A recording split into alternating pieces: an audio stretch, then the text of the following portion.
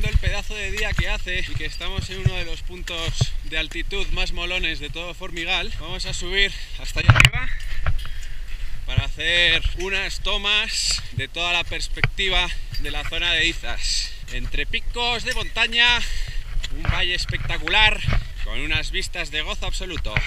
Eso sí, la subida, ¿sube o qué hace? Vaya paseo infernal. Ya podéis ver todo el dominio que hay de la estación. Ah, ah. Clava, clava. Ah. Estamos muy mayores. Nos queda este poquito. Vamos, vamos.